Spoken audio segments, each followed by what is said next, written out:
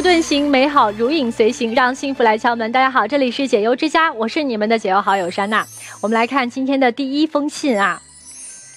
我成功植入耳蜗后，我想奔赴新的生活，想外出工作，减轻负担。可是我却遭到了丈夫的极力反对。在这个女孩身上，到底发生了怎样的故事呢？让我们一起有请我们的故事主人公李晶和她的丈夫高红玉，欢迎他们。你好，你好，欢迎，好漂亮！你好，你好，请坐，欢迎二位啊！刚才我读了这个妻子写的信啊，说这个成功植入耳蜗以后，想奔赴新的生活，但是遭到了丈夫的极力反对。我不希望她出去工作，工作这么长时间受的这些委屈，我都看在心里，所以说我不想让她受这种委屈了。这个慢慢咱们来说啊，咱们从一开始来听，就是什么时候发现自己的听力有问题？我植入人工耳蜗之前，其实我一直都不知道，我这个就属于是一个先天性的，就是遗传基因病。就是说我母亲她是一个显性基因的携带者，然后我父亲是一个隐性基因的携带者，所以到今天为止，就是我和我弟弟同时出现了这样的一个症状。什么样的症状啊？当时？呃，慢慢的开始听力就是逐渐去下降，然后你就开始听不清周围人讲话。这个他在小的时候是没有症状，都是到了大了之后才有症状，是的，因为我比我弟弟大三岁，我是在高中毕业，也就是在十八九岁嘛。我弟弟也是在同样的这个年纪，他也出现我这种症状。小的时候你是一丁点儿的反应都没有的，对，听力也没有说比别人要弱，是吗？对。上大学，当时学的专业是外语。等到大二的时候呢，然后我就觉得听力下降对我来说是一个致命的一个打击吧，所以就自己瞒着家里把学给退掉了。然后就是手续办好了之后，才告诉我我爸和我妈。那你爸你妈当时啥反应？又生气，然后又觉得无奈吧，因为我们家是村里面的嘛，就是小山村嘛，对于他们来说，供出一个大学生特别不容易，然后可能也觉得，哎呀，挺骄傲的一件事儿哈。然后我自己私自做了这样的一个决定，所以可能对我爸我妈来说，可能很多失望，很多不能理解的一个情绪吧。退学的时候，病情是到了一个什么样的程度？听得不太好。一半一半吧，基本上就是理解别人的意思也理解不太好，理解不到位，所以我就那会儿就挺伤心失望的，就就退学了。然后我就去了成都，因为我有一个姐姐，她在成都就是自己做一些生意什么的。我姐当时看我也没有工作嘛，也没有进入过社会，所以就让我去她那儿，给了我一份库管的一个工作。就是她进了货呀，然后出库和进库，我需要给她进行一个记录。我去了不长时间嘛，然后因为我这个沟通问题，出入库的数啊听的不太好，导致这个数据不准确。所以我姐那个当时第一批货的时候，我就给她丢了几千块钱，然后我就觉得嗯很对不起我姐姐这一份信任，然后我说还是不做了，所以我就离开那儿了。哎，你在那个时候带助听器是没有用的吗？助听器相对来说，它的分辨率不是很好，就是它能把你周围所有的声音都放大，但是不能准确的分辨出你想要的声音，相当于就是一个大喇叭一样的。当时是我一个很好的一个朋友也跟我说，在广东那边有一个挺好的一个生意，希望我去能够看一看。我俩那时候年纪都不大嘛，然后也没有什么社会经验，可能想的也特别简单。投入的时候是跟我父母要了六万块钱，然后一年多的时间就把这六万块钱全部都亏光了，就相当于创业失败了呗。对，就创业失败了，就挺受打击的，就灰溜溜的就回到老家去了。那个时候我这个听力问题影响到我正常的一个生活了，所以我其实心里还是挺自卑的，创业又失败。身体又不好，大学也没读完，包括我父母可能也给了很多压力哈。他们觉得说我就是应该需要去有一个人，然后能够给我一些鼓励、帮助，或者说能够去让我有一个呃依靠。相当于就是父母开始催婚了吧？对，对吧？这个时候我先生就出现了，他是相当于在你人生低谷的时候出现的，对，穿着黑衣服的白马王子。嗯，因为我俩其实是校友，就是很早的时候就认识，后期再联系上谈恋爱的时候，就是中间有很多年都没有联系过了，所以他不知道我现在的这样一个情况。你是不是上学就啊喜欢人家呀？上学一下就有。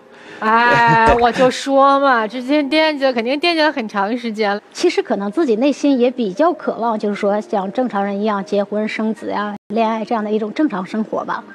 所以我觉得就是给我们俩彼此一个机会吧。您那会儿认识他的时候，你知道他身体不太好吗？开始不知道，后期我俩接触了一段时间之后，我俩我才知道。他主动跟你说的。对。说完了之后，你说实话，有没有一点？比较惊讶，确实有惊讶。我理想惦记的女孩，怎么突然间就耳鸣了呢？但是我不看别的，我就看他这种这个人了，这个人心非常的善良，嗯，我就认准了他了。因为在老家嘛，然后我就找了一份幼儿园的一个工作，就有一件事让我印象特别特别的深刻，因为我那会儿听力也已经有点严重了，就是正常的接打电话对我来说还是有困难。有一天晚上放学之后，有一位家长就给我的园长来了一个电话。我园长当时不在，我就替我园长接了这个电话。我能感觉到家长情绪特别的激动，但是我又听不明白人家讲了什么东西，我不能给人家明确的一个回应。然后我就没办法，我只能把电话挂了，说呃，等到我园长回来再给他一个解释。然后我园长回来之后呢，算是说给人家一个合理的解释。然后挂断电话之后呢，就第一时间找到我，跟我说这个家长说呀，这个孩子回去之后呢，说老师把他打的满身都是血迹，老师进行了一个暴力行为。家长投诉说你打孩子是吗？对，家长就是这个意思。他具体是怎么一回事呢？那个院子里面有一棵樱桃树。樱桃那个汁水不是特别多嘛，然后小朋友去摘的时候，他可能吃的时候就滴到衣服上去了，然后就造成身上有这个汁水，然后回去了之后，家长就觉得说，呃，我是一个没有结婚、没有生子的一个女孩子，不能体会一个为人父母的心情，可能说孩子有些调皮呀，我就对他采取了一个就是不恰当的一个举动。他不会真以为那是滴的血迹吧？对，他就觉得是以为是这个血迹。那身上也没有受伤的地方，他怎么就能判断那衣服上是血呢？对，我的当时觉得特别委屈的点就是那个小男孩是我们幼儿园里是最小的一个小男孩，我每天都抱着他，我特别喜欢他。然后就那天呢，我就没有抱着他，然后他可能觉得说啊，老师对他没有以前那么喜欢了。所以，其实到今天这个事情说起来，我还是觉得挺心酸的。嗯因为这个听力这个东西给我造成了这个特别多的困扰吧，所以就是他知道这个事儿之后呢，他也特别心疼。啊，因为我俩那时候就在谈恋爱嘛，然后他当时就说别干了，他能养我，然后就谈到订婚，谈到结婚。婚姻这个东西，它不是两个人的事情，是两家人的事情。对啊，就是他的家人知道你这个情况，会不会有一些顾虑？对我那时候也特别担心这个。然后我第一次去他们家的时候，我就跟我婆婆说：“如果你们家有一个人不同意我们俩就是谈恋爱的话，我说我肯定也不能干了。”他们说不在乎这个东西，两个人呃感情好，其实其他的都不重要。婆婆是一个特别开明的婆婆。对对对，我婆婆其实是一个特别温柔的一个人。我们俩结婚的时候条件也不怎么好嘛，车呀、房子呀，其实什么都没有。婆婆也给了一点这个启动资金，然后剩下的就需要我们自己去打拼嘛。然后等于说是也是白手起家的这样的一个过程。他也确实做到了他当初说的那句话，就是说他养我。我结婚到今年应该是有差不多九年的时间，确实没有上过班一直在家，然后就是带宝宝。那你的这个病情呢？我跟他结婚之后，就基本上等于已经放弃了，很少再去做检查了。因为结婚之前去看了很多很多地方，针灸啊、手术啊、中药啊，就是很多很多东西，我全部都尝试了。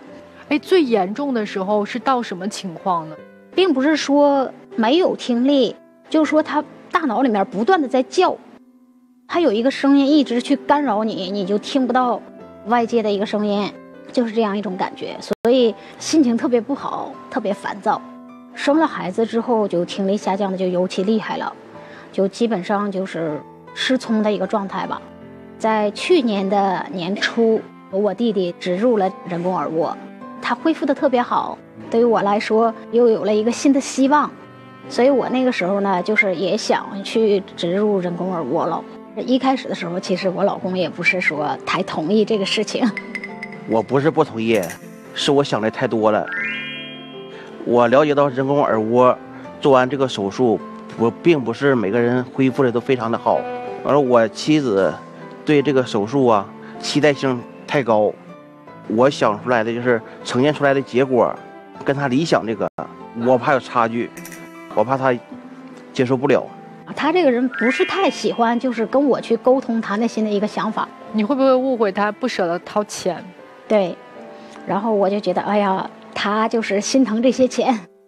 他应该是说对我来说是最亲的一个人了，然后他第一个反应给我是反对，所以我觉得特别的伤心。完，我就想到我我小弟做完这个人工耳蜗，他恢复的挺好。我也想到我妻子这些年。听力受阻，还是选择让我媳妇去做一下，尝试一下。内耳开窗术，呃，要在耳朵后面植入一个呃植入体，植入之后呢，然后还需要佩戴一个外机，就说他们两个放在一起才能够听到外界的声音。手术之后，第一个感觉，说实话就是疼，特别疼。然后第二个感觉就是。好像被人把脑子给劈开了，就是耳鸣还是脑鸣，具体也不知道是什么样的一个声音哈，就特别特别大，每天像一架飞机在你脑袋里面轰炸。你弟弟那会儿做完以后没有你的那个症状吗？他做完之后他听特别好了，然后我当时特别恐惧呀，因为没有经历过这个，我说是不是我这手术失败了呀？就赶忙去找那个主治大夫，然后人家就告诉我们说，你这都是正常现象。因为这个手术一个月之内他不能佩戴外机，就是说这一个月的时间你需要去休养。在二十天左右的时候，就是我儿子就出现了一个身体不太好的这样一个状况。儿子是什么情况呀？他就是会莫名的抽动的一个一个症状，有点类似于癫痫那种的抽动吗？没有癫痫那么厉害，呃，所以我当时也特别害怕是癫痫类的疾病吧，持续的时间不长。就是在你不注意的时候呢，就莫名的抽动几下。他其实主观意识还是有。我第一时间也跟他说了嘛，因为他是孩子爸爸，所以我俩想的特别多哈。就是说不管怎么样吧，就希望孩子身体健康就行了。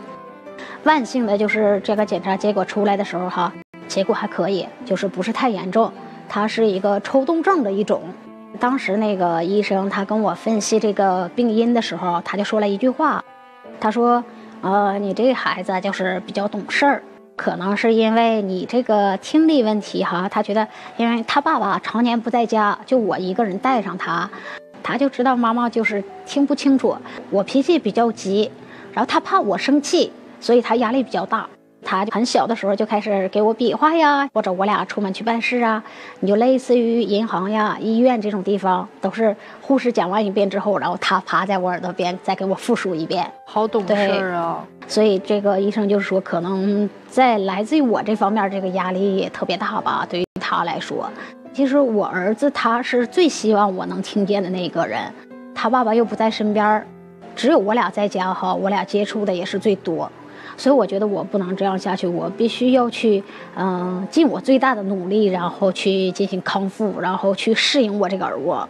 所以我那个时候就是他白天去上学，然后我每天听听音乐，然后再默念我自己的那个名字，因为刚开始戴的时候就是我自己说话我都完全听不懂，哎，我什么都听不懂，一点一点一点，然后就开始慢慢去识别这些语言了。后面一点儿，然后就开始能够听懂小朋友讲话了，能够听到我想要的声音了。所以我那个时候，哎呀，觉得真的是一下子就觉得特别有信心了。其实这一过程，我觉得我儿子对我来说，他真的是特别重要吧。等到今天来说，我差不多开机有五个月的时间了。哦，所以就还是算成功了，对吧？嗯，你你今天来跟我们写的这个信里面说，你想。出去工作是吗？对，丈夫是不太支持吗？对。然后，因为我觉得就是我现在的一个恢复程度和适应程度来说哈，我觉得我能够达到一个应对的一个能力。我觉得我有信心，然后能够去弥补我这八九年最黑暗的一个时光。对于我来说，替他也分担一些经济压力吧。其实孩子是需要一个父母双方共同的一个陪伴，他才能更好的成长。因为我们是一个儿子，其实男孩子的话应该跟爸爸更多接触一些，所以我希望我俩能够共同一起，然后让孩子更好的成长。我也自己，然后实现我自己的一点人生价值。对我来说，我现在这个阶段，我有新的希望，新的一个挑战，特有奔头一个感觉。你有对于工作的一些目标还有计划吗？之前我尝试了一份保险之后，觉得自己不太适合，所以我想要尝试一些就是电商类的工作，然后想要去进行一些带货呀之类的。现在其实，在我们家那个地方还没有什么太对口的这种工作。丈夫是不支持，不太支持吧？你为啥不支持人家出去工作呀？我就希望他现在就在家带好孩子。带孩子更累，我跟你说，上班才轻松呢，带孩子是最累的。孩子早晨送上学，到晚上去接。白天这一阶段在家也好好休息休息。哎呀，你以为在家能歇得了吗？因为我告诉你，在家才歇不了呢。还有老人呢，父母在家，如果说需要的话，他也得回去去看一看。啊，对呀，但是他找一份时间自由的工作，都能顾得到吗？他这一阶段我算了，从早晨送孩子到接孩子，白天需要跑跑这跑跑那的，没有时间去上班。但是我觉得，就是说，类似于电商啊，就是直播这一类的工作嘛，我比较喜欢这一块儿。然后我觉得我能胜任这一块儿。对，我觉得你表达能力完全没问题。然后我觉得我适合做电商，又亲切，外形又好。我就觉得我有能力，然后我有信心去迎接这个挑战。我想要有一个新的开始，是对于我来说。今儿就在这儿达成协议吧，同意还是不同意？同意的去尝试一下可以。先生，你知道工作意味着什么吗？工作就像他的听力一样，是能够给他带来新的生命的。他以前听不到，他会觉得他整个的世界都是噪音。当他能听到清晰的声音的时候，他听到的是你对他说的关心的那些话，儿子对他说的那些温暖的话。工作也一样。他现在有了新的声音，就相当于有了新的世界。他需要用这个工作把他这个新的世界重新再打开，建立他的自信。因为以前他那些工作不是说不想做了，而是因为健康的原因，所以他自卑。现在是最好让他重新重拾自信的时机。你作为她的丈夫，真应该支持她，而且应该要给她最大的支持，因为你本身常年就不在家。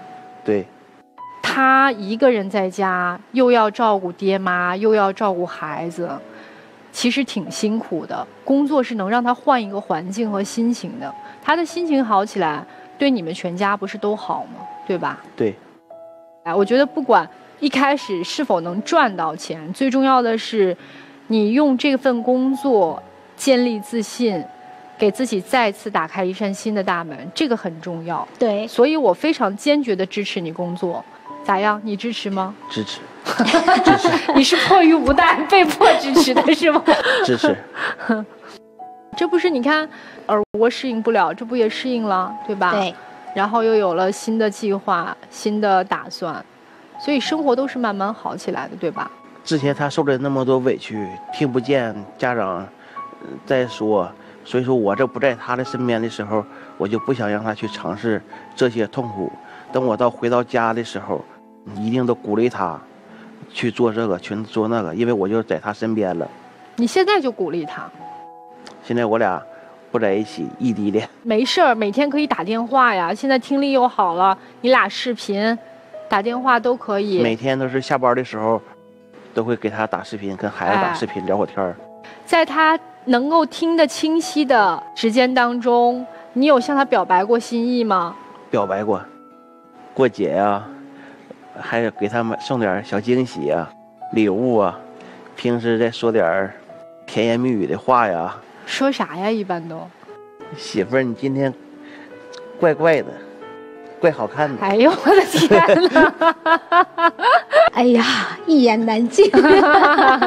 但是两个人结婚时间也比较久了嘛，我觉得既然他能说出这样一些，就是代表心里有我哈，就两个人一起努力把孩子带好，把日子过好，然后双方父母放心，这对对于我俩来说是最大的一个幸福。嗯，对，对，尤其是对于异地的夫妻啊，我挺不容易的。对，挺不异容易地的夫妻能坚持下来也挺不容易的，就是彼此两个人都有各自的苦和累，还有委屈和不容易。就是跟你媳妇儿说，经常说那仨字儿吗？说啊，那今天给你一个机会，当着我们电视机前的观众朋友，跟你媳妇儿表个白吧。媳妇儿，我爱你。我的妈呀！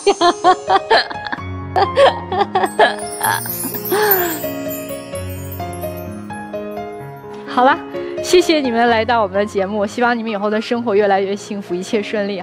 希望以后这个丈夫能早点回到老婆和孩子身边。谢谢主。谢谢你们。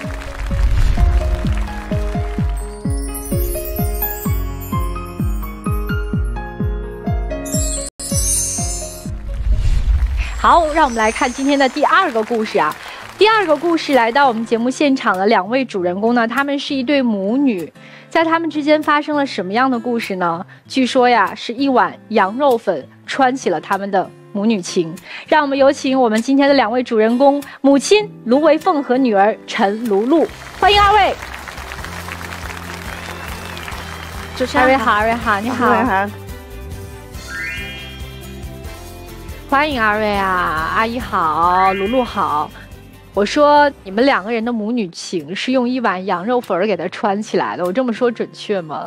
嗯，算是的，算是的哈。我们听听你们的故事，就是妈妈以前是做这个卖那个羊肉粉儿的，是吗？是您做了多少年了羊？做了三十多年了。比如说在女儿小的时候，妈妈就在做羊肉嗯，粉。对对对，嗯，好像听说小的时候女儿，嗯，不太在意妈妈做羊肉粉儿，是不是？是的，嗯，我小学的话，当时爸爸妈妈，嗯，就是给了我很优渥的这种学习条件，把我送到我们当地一所比较有名的小学上学。啊、那会儿呢，就是身边的同学，爸爸妈妈的工作都比较体面，有做大老板的，开家具厂的，公务员的。然后我每次都会给所有同学说，啊、我爸是个公务员，是机关单位的，然后我妈是做大生意的，是老板。小时候不懂事儿，面子作祟，然后就给大家就这样吹嘘自己的一个家庭情况。我就从来没有给任何人说过我妈是卖羊肉粉儿的，呃，为了虚荣心嘛。你为什么觉得卖羊肉粉儿的不体面是吗？对，因为我觉得当时我们那个店，它都不能算是一个店，就是一个在呃这种那种河边上的一个棚子搭起来的，都没有门。我们晚上关门的时候都是用那种打工的那种塑料布给它围起来，呃，还要用石头给它压上。就有点像我们现在说吃路边摊的感觉，对吧？啊，因为我们那个店实在是太破了，爸爸那个时候做什么工作呢？做公务员放学了以后会去到妈妈的店里吃个粉儿啊之类的吗？我从来不去，我放学就直接溜到楼上去做作业了，然后吃粉都是让他给我端上来，我从来不在楼下。我有时候跟我同学，我们就是放学回家，有些时候会路过我们店，然后我都是带着我同学绕道走，远远的往一条小路走，就是为了不路过我们店，不让大家知道那是我妈，是我们家的羊肉粉店。妈妈那个时候知道女儿这心思吗？知道知道啊，心里不舒服吧？对，那没有找女儿聊聊吗？知道了，他看不起我卖羊肉粉。嗯，就是有一次，嗯，开家长会，他爸爸说我今天没空，今天这个家长会还是你去开吧。我们学校组织的任何活动和家长会，我从来没叫过我妈，都是请我爸爸去的。因为你觉得爸爸工作比较体面，妈妈的工作不体面，是吗？因为我给所有同学形容的都是我妈妈长得瘦瘦高高的，长长的头发，每天都会化很漂亮的妆，然后身上香香的。就是那一次家长会，我妈就是临时接到我爸的电话就过去嘛，好过去，我其实我不知道他来了。后来他就对号入座，坐到我们每个同学的座位上嘛，呃，他就坐在我的座位上面的。然后所有的同学当时就看到那是我妈了。我妈妈当时就没有那么在意自己的形象，然后穿着个围裙就过来了。然后所有人都知道我是个撒谎精了，大家都不跟我玩了。哎，那你有没有想过小的时候，就是你的这个虚荣心是从何而来的？为什么会有这样的心理呢？小时候就是因为身边同学嘛，大家都喜欢比较，就觉得我会和同频的人做朋友。如果你是农村来的，或者就家境不好的，我们就不是一个频道的同学了。同学之间会讨论自己的妈妈，所以你听到别人讲自己的妈妈的时候，你就想，我的妈妈应该也是什么什么样的，对吧？是的。那那次家长会之后呢？你回去有没有跟妈妈生气啊什么的？我就不吃饭。然后把自己关在房间，我也不跟我爸爸妈妈讲话，我就说让他不要开羊肉粉了，你继续开你这个羊肉粉，你就是永远是个土包子、乡巴佬的形象，我就不要去上学了，所有同学都不要跟我做朋友。那这是挺过分的啊！女儿这么说的话，气死了吧？又伤心又生气又无奈。对，就就这样叛逆嘛，然后这个店就给关掉了。那你也真由着他，还真把店给关了，就是为了他，我又真是把店关了。因为我确实有，嗯，几天当时就不吃饭，闹情绪嘛，然后跟我妈妈吵架，我妈也比较心疼我嘛。关店那个时候，我还是真是舍不得，因为呢，我那个时候我生意也很好嘛，那个时候一天都要卖四百万，就那么关了，我就去开了个货车加站，做了几个代理。开店了，相当于是吗？不是，就是也没有开店，就是相当于城市代理，给他们发货，厂家直接送到我们这儿。我妈妈她就早上每天四五点钟就要去发车，然后给每一个超市啊、学校啊，还有各种小批发部。有的时候送在乡下那些嗯批发部，人家搬到三楼啊、五楼啊，我一次性都要搬个嗯四五十斤啊、六十斤呐，把人家搬上去。这真的是体力活呀！开羊肉粉我还没觉得辛苦，那个时候做代理我才知道真正的是辛苦钱。那时候高中我基本上就已经懂事了嘛，我就有时候也会去跟我妈一起去乡镇上面发货。那时候很大的太阳，烈日当空的，那个驾驶位隔那个玻璃都很近的，空调也不是很好。我就那时候发现我妈真的还是很能吃苦。就凭借她自己的热情，还有为人耿直，然后才呃后面有了很多老顾客。基本上我们那个县城所有的乡镇用的方便面都是我们家的。你妈妈是做生意的好手啊，最后干的怎么样？我又在聘呢。呃，我们这种生意他是要先打款后发货嘛。然后当时他是新认识的一个厂家，刚好接近过年，我们就囤了一批那个饮料。一次性囤了二十多万，结果发过来的货只有两三个月就要过期了。然后当时又遇到那一年贵州雪灾，我们出不了门，车子没办法发，就是所有的路上都结冰了。然后我们那一批货相当于在家就已经囤了一个多月了，就滞留了。对，我们就找厂商退货嘛，厂商就联系不上，就这样，嗯，平白被骗了二十多万。这个工作就一直干下来了吗？干了一二年，他爸爸生病。那天我在乡下，他你今天早点回来，我今天吃吃不下，嗯，好像站起来都没力了。嗯，那我说我赶紧回来。他想我回到家里，把他收拾一下，我都带他去遵义医学院查一下。那个时候我只会开大车，小车我都不会。平时他们都开个五六个小时嘛，我都开了十多个小时。到终于到晚上凌晨了，我们直直接去那个急诊科，那个医生叫我进去，他说要住院。我说他这个什么病啊？他说他这个是癌症，哎，一个肝癌，哎，好像也还是一个肺癌，两处癌啊，两个癌呀。那这证明原发癌是一个地方，然后已经都转移到另外一个地方了，对吧？哎，肺癌转移的肝肝上去的，就原发是肺，然后肺转移到肝上了。对，那个时候我有女儿在重庆上大学嘛，打电话给她，那时候还在上课，接到这通电话，我们就马上包了个车，到了以后当天是晚上了嘛，第二天我们就一起去医生办公室，医生说他这个很严重的，像他这种情况，嗯，活三个月的我都没都没有看到过，要不然我都得开点止痛的，带他去玩一段时间嘛，嗯，让他开心，可能还可以活个两个月吧。其实我当时拿着这个报告单，我是不相信的。我觉得我爸爸平时身体很好，我不相信他会突然患上这么重的病，就要马上要离开人世。我女儿说：“爸爸，爸爸只有一个，钱没有了，我们慢慢挣。嗯，还是我们还是给他治，不准放弃。”我想让爸爸多活一段时间。如果出现奇迹，他就给我们救活了呢。一直我们是瞒着我爸，说他是肝硬化。呃，说他这个病是能治好的，要动几次手术就治好了。呃，他不是其他的病，他自己也有求生的欲望，一心想着好了，他还要去回去上班。因为我那时候大学也没毕业，我弟弟也还在上高中，他觉得也放心不下我们俩，也放心不下我妈，就这样一直给他看病，全国各地到处都带他医治了。他最后是九个月的时候才离世的。那已经比医生当时说三个月要多维持了半年多呢。对，医生当时都说是奇迹嘛。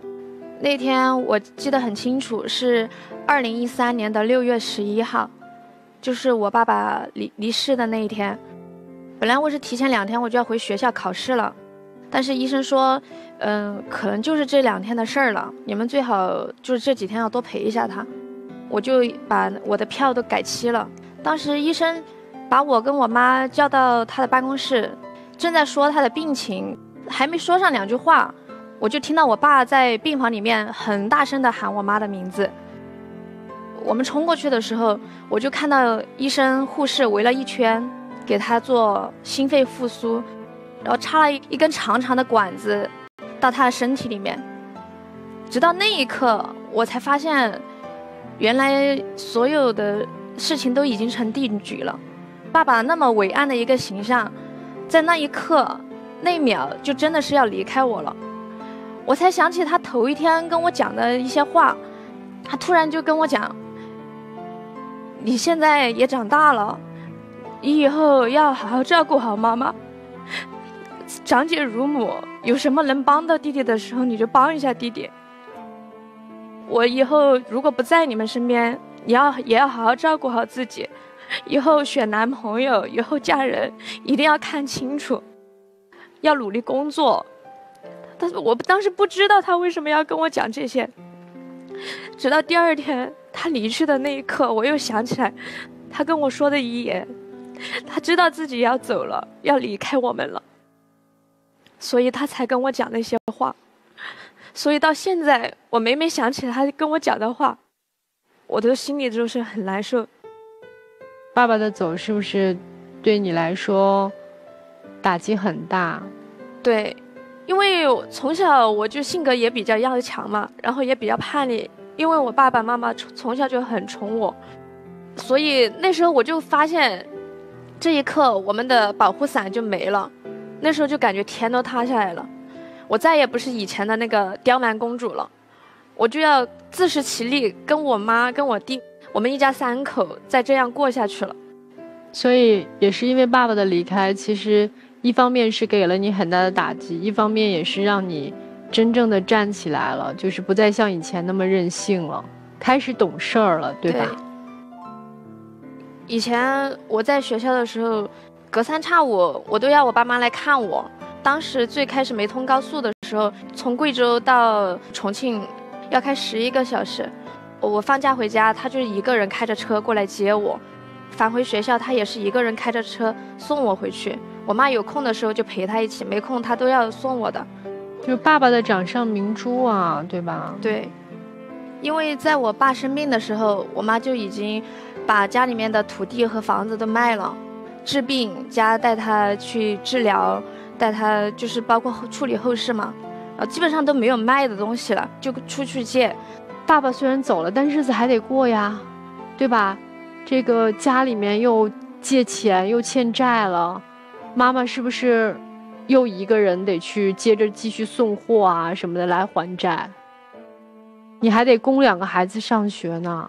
那个时候那些客户都在别人抢走了嘛，我生意都不好做了。哦，因为那九个月您您就没有再去做生意了，对吧？客户被抢走了。呃，。对。哦，后来我都又想着卖羊肉粉嘛，这个时候就又重新开回了羊肉粉店。对。，那个时候要他弟弟上高中嘛，他上大学嘛，那您这次在开这个羊肉粉店，女儿是什么态度呢？以前不是最不喜欢妈妈开羊肉粉店吗？家里面还钱是最重要的事儿。然后那时候就不管什么面不面子，也是因为呃家里面的这种变故，爸爸走了的对我的这种打击，那时候就已经发誓我一定要努力挣钱。我妈重新回去开羊肉粉店，就在我们家楼下，因为我妈平时做生意很会为人处事嘛，好生意很好。那时候我已经大三了，当时辅导员叫我考研，我就跟辅导员说，我说我现在不想考研，我要出去挣钱，我想替家里面分担这些债务。辅导员也知道我们家里面的情况嘛，然后他就给我妈打电话，他们好像聊了很久，希望我还是把研究生考了，然后一边读研一边兼职这种。然后我妈也劝过我，我就是不听，因为我不想再把精力花到读书上面，我想全身心的想怎么每天去赚钱。那你最后去赚钱了，还是去读书了？我就提前申请我要出来工作嘛，兼职嘛，然后我那时候就已经停课了，然后我就每天白天我就去店里面兼职卖衣服、卖鞋子，晚上我就做主播打游戏。我记得第一个月，嗯、呃，二十八天的时候我就赚了七千多块钱，第一时间就给我妈转了两千块钱。我觉得我妈那一两年太累了，然后皱纹一下子多了很多，所以我给她买了一套呃护肤品。好，后面我就一直也是这样坚持的，就是坚持到我大学毕业。就算是有了自己的第一桶金了。嗯，相对于那时候在学校大家都，呃，就是还没有工作的同学来说，我算是当时就觉得自己还是蛮能吃苦的，因为靠自己的双手挣钱也，我也还是比较自豪的那种。之后大学毕业了嘛，我就呃进入了房地产。好，那时候又赶上地产的红利期。我就学着炒股啊，买基金啊，学理财呀、那时候就比较会赚钱了。大学毕业第一件事，我就是在重庆扎了根，买了一套房。我想在大城市安了家以后，就把我妈接过来。好，那时候就是定了这样的目标。那时候就在大学自己，呃，算是有车有房了。当时过着很奢靡的生活，家里面的债务也差不多还清了嘛。我就说，哎，你就不要开羊肉粉了。你再这么开羊肉粉，我处个朋友都处不到，我别个都会觉得我们家境不好。呃、你那个时候还觉得羊肉粉抬不上台面那种感觉是吗？其实那只是我刺激我妈的话哦，因为最开始也是因为有一有过一段感情，就是对方也加要求见父母嘛，然后谈婚论嫁那种地步。其实他父母表现的还是挺喜欢我的，他们还去了我们老家，其实就是想看一下我们家庭情况呀等等的。好，然后回来了以后，他爸有一次喝醉了，跟我说，觉得我又没钱，又没资源，没背景，然后家庭条件也不怎么样，妈妈还是卖羊肉粉的，爸爸又走了，就觉得我们家庭条件门不当户不对，所以我就当时立马就决定跟他分手，然后自己马上就买了一套房子给他们看。我这个人就是还是比较要强吧，我觉得永远都要争一口气，争一个面子。我们债务还清了以后，我就叫我妈，我说你就不要开羊肉粉了，看我处个朋友都处不到。其实是因为有一次过年我回去，我看到他的皱纹很深很深，然后有多了很很多白头发。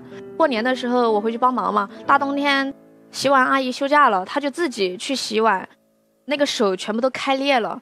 那时候我们冬天也要一天要卖三百多碗粉，她一个人，然后加上我给她打打杂。本来我是想的，过年好好不容易回去休息两天，还要帮她卖粉，呃，我看着她那样，我又我又觉得很心疼。你妈忙碌一辈子了，怎么可能不干活啊？那你是怎么就开始跟你妈妈投身这个事业了呢？三四年前，呃，地产环境不好了嘛，我就离职了。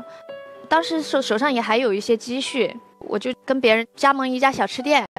然后又开公司，又做茶叶经销商，就是前前后后还是投了呃大几十万，最后到全部倒闭的时候，可能差不多亏损了一百多万，当时积蓄就全部没了嘛。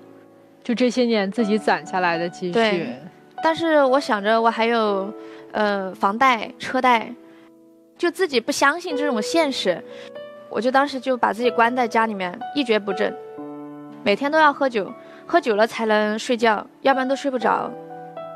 那弟弟打电话给我，叫我过来看一下。那姐，他说这个好像看到他，嗯，那个状态也不太好吧？好，那时候我妈就从贵州过来看我，其实我当时已经有两个月门都没有出了。过来我都看到满满屋子的酒瓶啦，什么东西满地都是啊。妈妈那个时候知道你的现状吗？就是知道你做生意赔了那么多吗？当时我不知道，我说，嗯，这个有什么呀？你外公，嗯，做那个羊肉粉就养活你外婆们，嗯，八姊妹。你外婆做羊肉粉就养活我们四，嗯，姊妹四个。那我现在做羊肉粉不是养活你们姊妹两个吗？我说现在我不是好好的嘛，每天就开导开导他嘛。我说你慢慢的要振作起来，还是要去找点事情做。后头我都走了。我妈走了以后，呃，我就去我们楼下，刚好有一家羊肉粉店，然后我去吃了以后，我就觉得他们家味道一般呀，还没有我们家的好吃。好，我就刚好跟那个老板聊到，我说我也是贵州的，他就说他不怎么赚钱，我就问他要不要把这个店铺转让给我。没几天，他又打电话给我，他说他家羊肉粉没得我们家那味道好吃。好，我就跟我妈说，我说我一定我我想好了，我要创业，我就开这个羊肉粉，嗯，咱们就母女一起做。我说现在又想通了呀，我都把贵州的店都交给我们亲戚嘛，亲戚管，我都过来。你怎么想的？当时看不起的那一家破破烂烂的羊肉粉店，其实是他辛辛苦苦攒了很多年的钱才开起来的，只是因为小时候我不喜欢，为了我他才把它关掉的。虽然这一碗羊肉粉他很辛苦，然后也不那么体面，但是他赚的都是辛苦钱，这一个辛苦钱我觉得赚的很踏实。我就自己负责装修啊，前期的宣传呀，菜品的拍摄呀。好，我们就这样把一家店给做起来了。现在生意怎么样？现在生意也很好，每天也要卖个几百碗。现在我们也陆陆续续开了四家店了，加上我平时也有拍摄短视频嘛，然后慢慢的大家都说我们那是网红店，还有很多贵州老乡，开个一百来公里都会过来吃我们家的羊肉粉。从妈妈的外公那传承下来的手艺，加上你现在这个现代的这些所有的宣传的手段，对吧？你这个店不火才怪呢。所以现在的这一碗羊肉粉，不再是你小的时候瞧不起的那一碗羊肉粉了，对吧？是的，就是我做什么，他都毫不犹豫的支持我。虽然是一碗小小的羊肉粉，但这一碗羊肉粉是有温度的，因为是从你的太外公那边传下来的。这一碗羊肉粉是一代一代一代传到你这儿，本来一开始还是一碗不起眼的、看不起的，你把这个羊肉粉从贵州带到了重庆，然后让那么多不远万里的人都能来打卡去吃那一碗羊肉粉，这就是传承的力量啊！对，今天借这个机会，有没有什么想跟妈妈说的话？妈妈，这些年你辛苦了。自从爸爸走了以后，你的日子一直都很难。但是现在我长大了，也谢谢你一直这么包容我、理解我、支持我。以后的日子，我来照顾你。只要你跟你弟弟过得好，我再苦再累，我都觉得值得，我都高兴。只要你们幸福，我都幸福。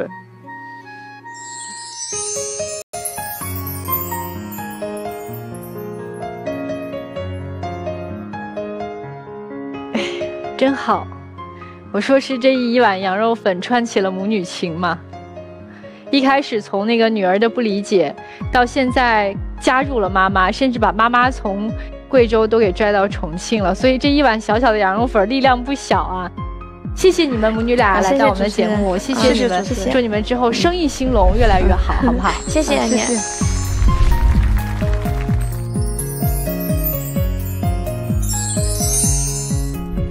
我们常说一句话呀，“女子本弱，为母则刚”。其实我觉得，在女人的身体里面啊，就是有这么样一股力量，不管遇到什么样的困难，不管她是否成为母亲，她都有一种刚强般的意志和力量，能够支撑着这一个家庭，无论是小家庭还是她的大家庭往前走。所以呢，要向每一位正在努力奋斗的女性致敬。